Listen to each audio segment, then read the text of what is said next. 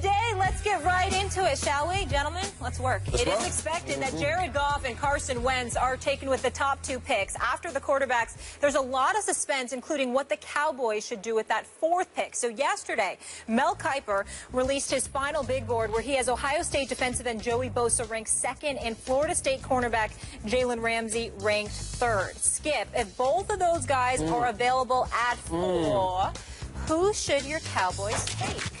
Molly, Stephen A., what do I always say? Trust your initial instinct. What does your gut tell you right away?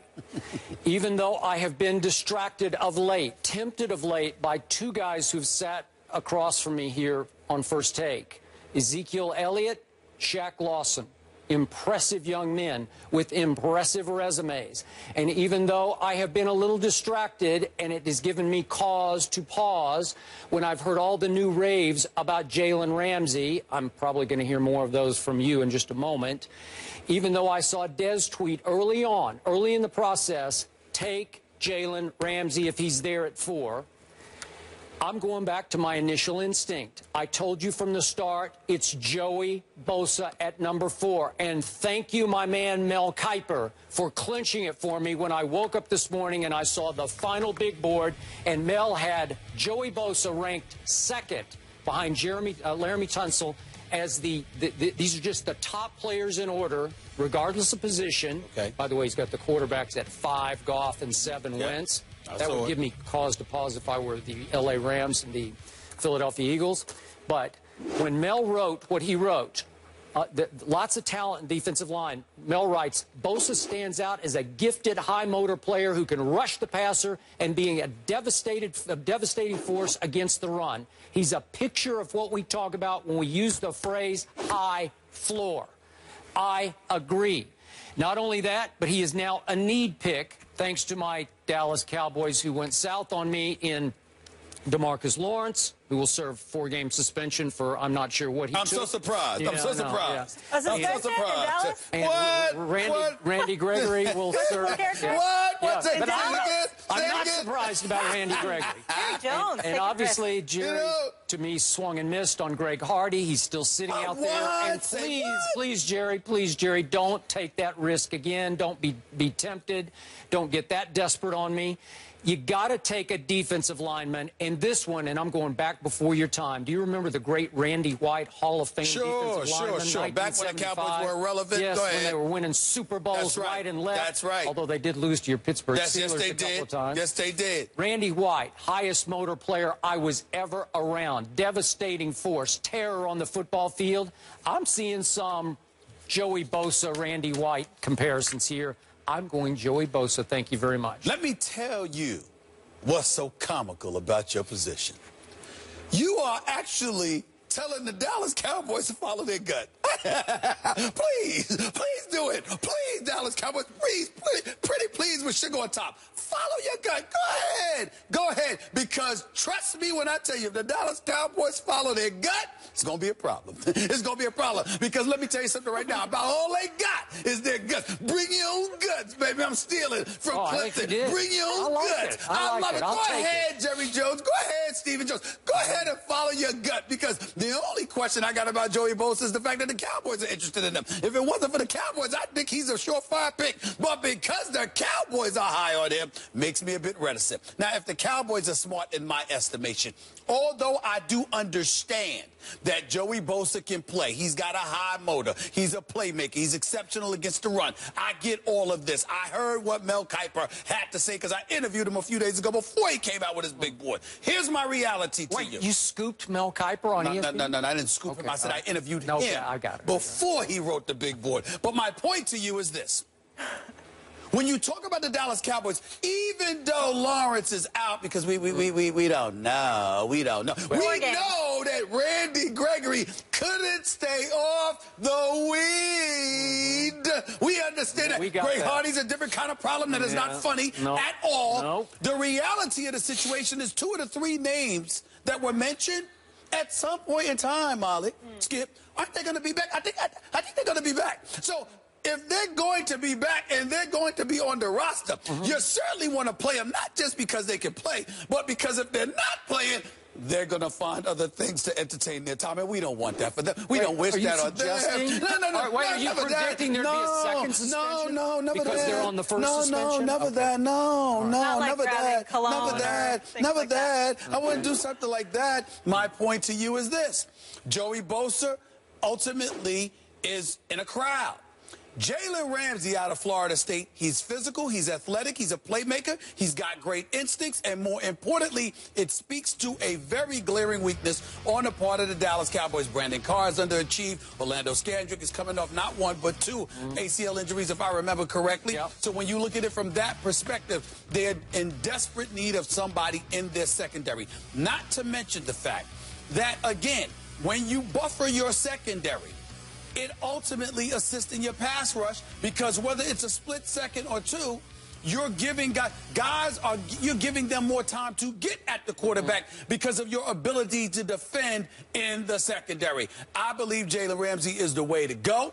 I believe his makeup is prototypical of what the Dallas Cowboys are looking for. I think if you get Bosa, you put him into a crowd, you're begging for trouble. Not that it'll be Bosa's fault, but the system he's going in and all the noise and the distractions and everything else there at that position could be problematic. Mm. Mm-hmm. It is clear that you need Ramsey, and it is clear that Ramsey will come in from day one without any distractions. You desperately need him in the secondary. Mm-hmm. I'm not saying that you don't need a pass rusher. I'm just saying, well, what they have already and the bodies that they have, they'll need that.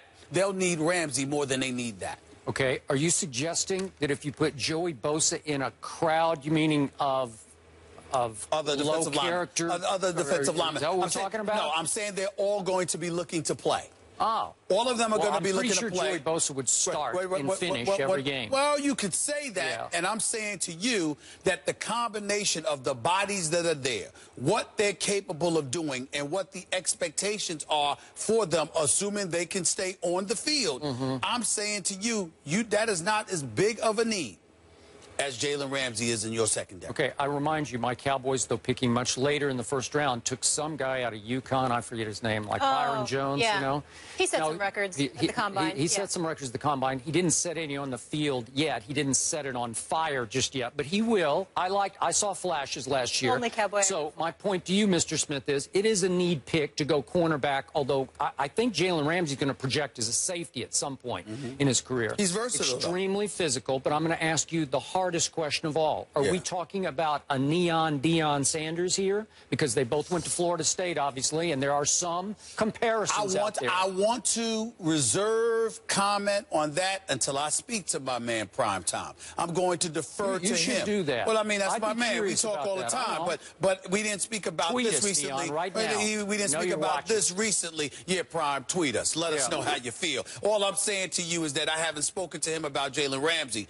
I will defer to Prime Time to tell me whether or not somebody is Prime Time capable. Okay. You see what I'm saying? Well- I, I, that's that's called respect. Okay. For greatness, which you don't seem to have. I, time about to, time. have a whole lot of respect for a whole lot of greatness. Okay. I had the pleasure, the honor of covering one Deion Sanders when he was a Dallas Cowboy for one year, one Super Bowl year. The most extraordinary player I have ever covered. I've told you this before. He is clearly, to me, the, I, I believe he's the greatest athlete ever in sports. I know you can go Bo Jackson and blah, blah, all this. But, but again, Deion was an all-state high school basketball player in Florida. We know he was a, a starting baseball player for the Yankees and Braves, center fielder, and obviously the greatest cornerback ever. It, it is laughable to me to put Jalen Ramsey in that category. Laughable. And it's no insult to Jalen Ramsey, but Jalen Ramsey ran 4.45 in the 40. 4.45. Deion ran 4.27, and they tell that classic story about he didn't really want to run at the combine. He had on his tracksuit, you know, and he just said, "Oh, okay, I'll do it. I'll do it." And he just took his tracksuit off, didn't even stretch. Boom.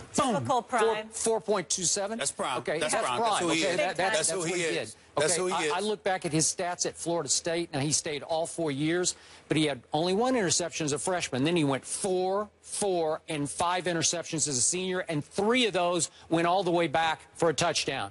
Nobody could take it to the house the way Prime Time could take it back to the house when That's he right. got his hands on the football. Right. Jalen Ramsey, Jalen Ramsey in his career, he had a total of three interceptions over three years. That's none last year, his junior year at Florida State. Mm-hmm. He went one as a freshman, two as a sophomore, and the knock on him is he just doesn't have great ball skills or anticipation. Mm-hmm. I'm not saying he's not going to be an elite player at whichever position he winds up at, corner or safety, because he is extremely physical. And the story Jerry told yesterday was he actually got kicked out of a practice before his sophomore year. It was a media fan practice in August ahead of the season because he was too physical. He was breaking the practice rules and knocking people down he was not supposed to knock down, including Jameis Winston. And when he knocked Jameis Winston down, who probably had on a red Target jersey in that practice, again, a preseason practice, uh, that's when Jimbo said, uh, you are out for today and, and sort of showed him up in front of the media and fans. Okay, I like it. I like the physicality. But is he Neon Deion? No, he's not. So, Yeah. so again, I'm not saying he's a But- but- bust, but, I'm not taking him at But let's be clear. Once again, you lack perspective. There is no one that is prime time That is a fact. Deion Sanders. Okay, but I'm There's only some one. comparisons. A, I mean, prime time is so prime time. He ain't allowed to work in the daytime unless he's on first take. That's it. Okay, that's how prime probably time true. prime time is. Okay, Yeah. I mean, listen, the man showed up at first take. When have you ever seen him on TV in the daytime other than that? You don't really see him. It's usually prime time hours because he's true, Mom? prime I guess time. it is. You, got to think Okay. about it. Gotta- I'm, I'm trying to help you Yeah, out he of here. Yeah, he showed up. He Yeah. showed up here he on killed first it. take for Yeah. us. For, ki- And killed it for an hour. That's how prime time he is. But what I'm saying to you is there's only one. When I look at a guy like Jalen Ramsey, I'm thinking about his pass. I'm thinking about the 52 taxes, tackles. I'm thinking about the non-passes defended, which led Florida State. I'm thinking about the fact that the that the dude's a hit man, and you've got He's people that don't want to run in his direction, don't want to throw in his direction, because he's the kind of dude that when receivers are running routes, they're looking for where he's at before they're even looking for the ball. Mm-hmm. If you're the Dallas Cowboys, you kind of want that. You kind of need that. Now, the Dallas Cowboys weren't completely atrocious. They were fifth against the pass last year, and we had to sit 22 against the run. So if you want to make an argument in favor of Bosa, it would be that.